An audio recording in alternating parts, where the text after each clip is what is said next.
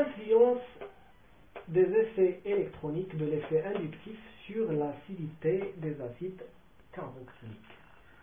Donc voici un exemple qui va montrer l'importance des effets électroniques inductifs et mésomères bien sûr sur euh, l'importance des effets électroniques pour comparer l'acidité des éléments chimiques. Donc ici, j'ai trois acides. Là, donc c'est H3, COOH, H0OH, et voilà le chlore, c'est H2COOH. Donc si je pose la question, quel est, c'est qui l'élément le plus acide? Dans ces trois Donc je devais commencer par déterminer le sens de déplacement des électrons. Avant ça, il faut définir c'est quoi un acide.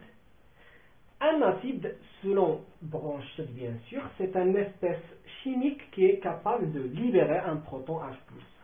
Donc, par exemple, l'acide qui est très connu au niveau de l'industrie, au niveau de commerce, c'est l'HCl, l'acide chlorhydrique. Donc, l'acide chlorhydrique, c'est une espèce qui est capable de libérer le proton H+. Pourquoi H+, et n'est pas H-? Parce que le chlore est très électronégatif, donc il va attirer par effet inductif attracteur les électrons de, de l'atome H, et puis, donc ce qui, ce qui provoque la polarisation de la liaison HCl, ce qui facilite le départ de protons H+, et bien sûr nous, allons, nous aurons au, au, produit un H+, qui s'appelle un proton H+. Donc l'acide, c'est une espèce chimique capable de libérer un proton H+. Quand est-ce qu'on parle d'un acide qui, qui, peut libérer facilement le proton H+, ça dépend de la, de la polarité de cette liaison, de la liaison OH ou bien AH. Donc, ça dépend de la polarité de cette liaison. Donc, plus la liaison OH est polaire, plus le départ de proton H+, sera facile. Donc voilà, nous devons commencer tout d'abord par, représenter le sens de déplacement des électrons. Donc nous savons déjà que le CH3 exerce un effet donneur. Voilà, donc comme ça, c'est un effet donneur inductif plus I. Donc ce carbone deviendra riche, très riche en électrons. Donc il va essayer de diminuer sa densité électronique. Donc il va donner des, électrons vers l'oxygène. Autrement dit, l'oxygène est plus électronégatif que le carbone, donc il va attirer le doublet électronique vers lui. Donc ce oxygène deviendra à son tour très riche en électrons et donc cette liaison deviendra moins polaire. Donc cette liaison est moins polaire. Pourquoi cette liaison est moins polaire?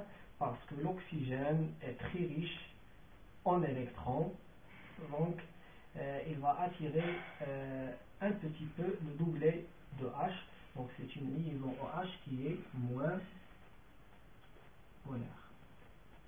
Pourquoi moins polaire? Parce que l'oxygène, la, densité électronique au niveau de l'oxygène est importante, donc il ne peut pas euh, libérer le proton H facilement.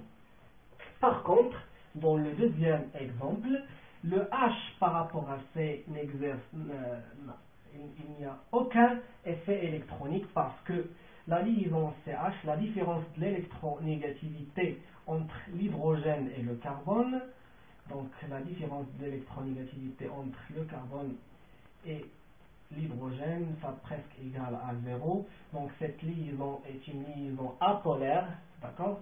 C'est une liaison apolaire et par conséquence, l'oxygène va attirer les électrons de, carbone, de, ce carbone, de carbone voisin, puisque l'oxygène est plus électronégatif. Et dans ce cas, si on veut comparer la richesse électronique, la densité électronique, nous, remarquons bien que dans ce cas, la densité électronique au niveau de l'oxygène est moins que la densité électronique ici. Pourquoi?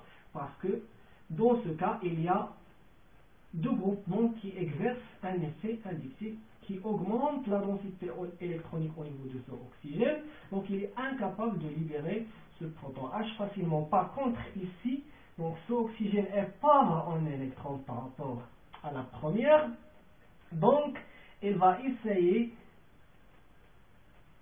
d'attirer les électrons de, euh, des protons H, ce qui, va créer une polarisation au niveau de cette liaison, ce qui facilite, le départ de protons H+, et donc ce composé-là est plus acide que celui-là.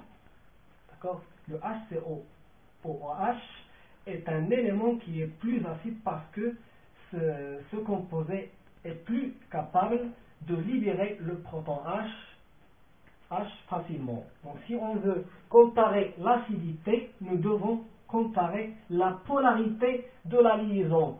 Plus la polarité augmente, ce qui, ceci implique que l'acidité augmente aussi.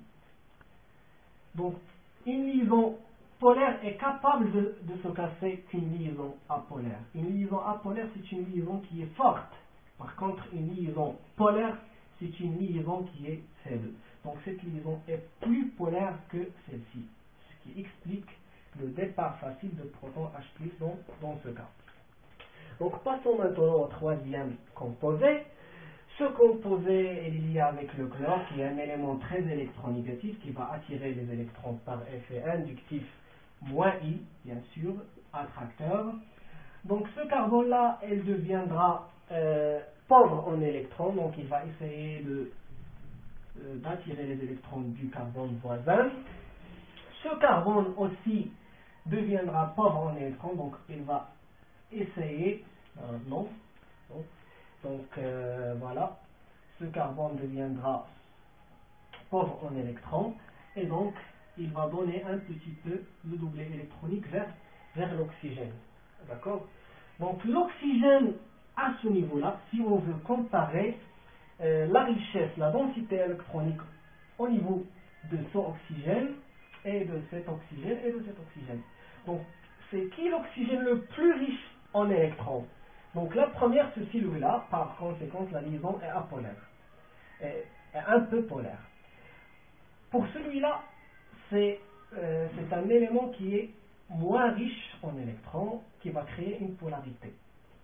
Dans ce cas, l'oxygène se trouve dans une situation pauvre.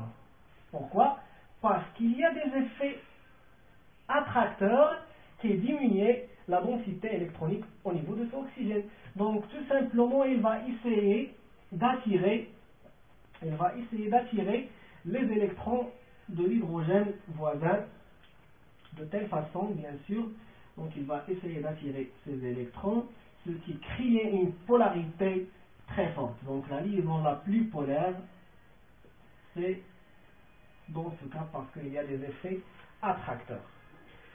Et donc, cet acide, donc ce composé est plus acide que celui-là, et celui-là, à son tour, est plus acide que celui-là. D'accord? Donc l'acide le plus fort, c'est celui-là, puis celui-là, puis celui-là ce qui explique les valeurs des, pKa. Donc pour ce composé, la valeur de pKa égale à 4 à 4,7. Donc pKa égale 4,7. Pour ce composé, 3,8. Et pour ce composé-là, c'est 2,8. Voilà. Donc bien sûr, plus le pKa diminuait, plus l'acidité augmente. Donc le pKa diminue, ce qui implique que l'acidité va augmenter. Donc, conclusion de ce qu'on a déjà vu. Donc, une conclusion, les effets attracteurs augmentent l'acidité. D'accord? Donc la preuve, c'est ce cas-là. Euh, les effets attracteurs exercés par le chlore augmentent l'acidité de ce composé. bien sûr, si on dit que l'acidité augmente, c'est-à-dire que la polarité augmente. Donc les effets attracteurs augmentent l'acidité. Donc les effets attracteurs, donc attracteurs augmentent l'acidité. Les effets donneurs,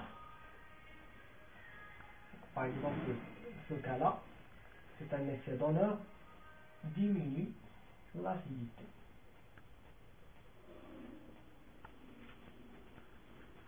Et voilà. C'est l'influence des effets électroniques sur l'acidité des composés chimiques. Plus la polarité de la liaison augmente, à des, effets électroniques attracteurs, plus l'acidité augmente.